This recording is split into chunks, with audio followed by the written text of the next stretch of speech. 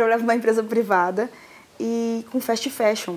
E quando você vai trabalhar com fast fashion, que é a moda rápida, e com comunicação dentro é, desse mercado, você começa a ver muita coisa errada.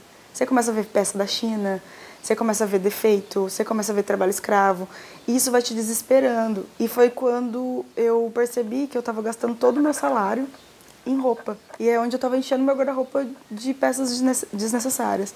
E foi a ideia de troca, porque eu sempre trocava com as minhas amigas. E o que aconteceu? Na verdade, eu sempre dava. E eu estava ficando sem. Daí eu falei, gente, vamos trocar? E aí surgiu essa ideia, vamos trocar roupas. Todo esse incômodo da Yara e das amigas dela, com o consumo exagerado, aliado a outras boas ideias, deram vida à chita trocadeira. Quando nós vamos em, é, em eventos fechados, são só para os artesãos. Então eles escrevem, escrevem, eu quero participar, eu pego o contato, faço um grupo e eles têm um espaço lá.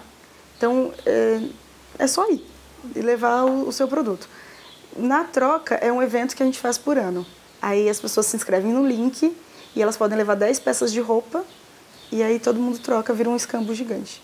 A Chita é um bom exemplo de economia criativa. É um termo recente, mas que está sendo mais difundido cada vez mais, né? Mas nada mais é do que a junção de várias ah, partes da economia, de vários setores que envolvam algum grau de criatividade, que envolvam inovação. Quando você trabalha na economia criativa, ela, ela é horizontal, ela cria conexões. Eu, eu faço contato com você, você faz contato com ele e faz contato com o outro e vira uma rede, sabe? Ela cria uma estrutura. Além de incentivar os pequenos empreendedores, a feira facilita o contato entre os que acreditam na economia criativa.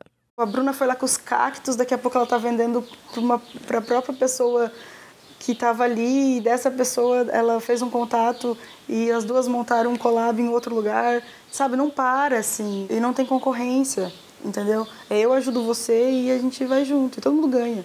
A economista confirma, essa forma de trabalhar pode sim ser muito lucrativa. Com certeza pode ser rentável, vai depender da criatividade do empreendedor, da possibilidade que ele tem de continuar sempre inovando e um mercado que é dinâmico. A Chita eu nunca tirei do bolso. A Chita eu fiz um projeto que deu 1.100, 1.010 pessoas, acho, 1.100, não lembro agora os números a última vez, e eu não tirei um centavo do meu bolso. E eu paguei todo mundo. A divulgação dessas feiras da Chita Trocadeira é toda feita aqui, ó, nas redes sociais. Essa maneira de empreender traz retorno para quem investe e também satisfaz o consumidor que está em busca de experiências. O consumidor está cada vez mais preocupado na experiência de consumo que ele vai ter e a economia criativa pode proporcionar experiências personalizadas, experiências únicas.